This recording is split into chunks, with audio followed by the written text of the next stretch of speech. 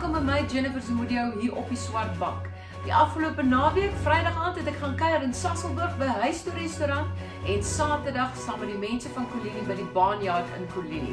Baie dankie aan elke liewe een van julle wat die vertonings bygewoon het en indien julle het nie, is dit waarop jy uitgemis het. Woord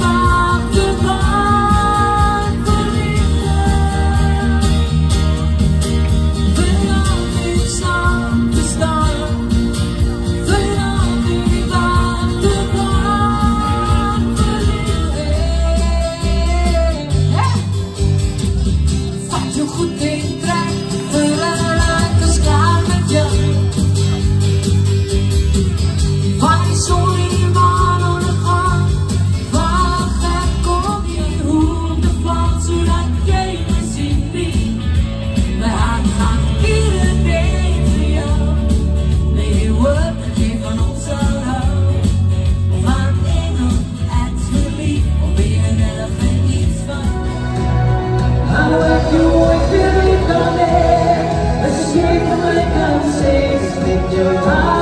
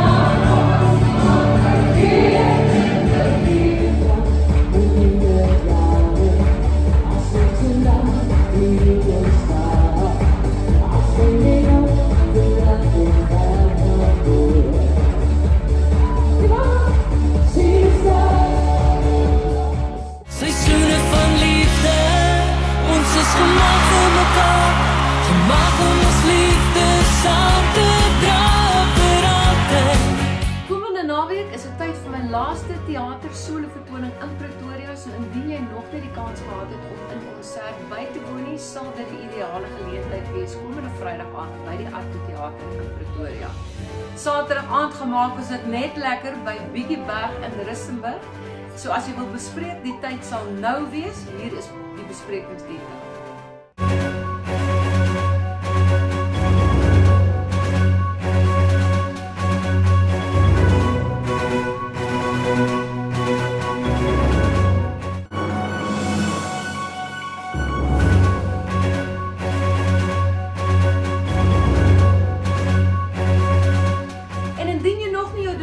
Gemaak het vir die Jamblik projek nie, doen gerus nou hier is meer detail oor waar en hoe jy jou donasie kan maak. Ek maak staat op jou ondersteuning.